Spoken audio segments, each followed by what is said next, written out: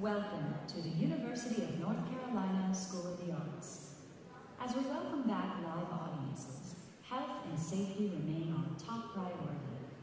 All audience members are required to wear a mask that covers your nose and mouth at all times, regardless of vaccination status.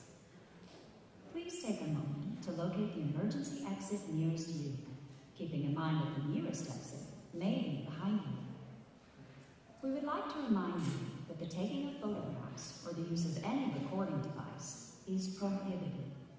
Out of respect for the performers and fellow audience members, please silence all electronic devices. Thank you for your cooperation and enjoy the performance.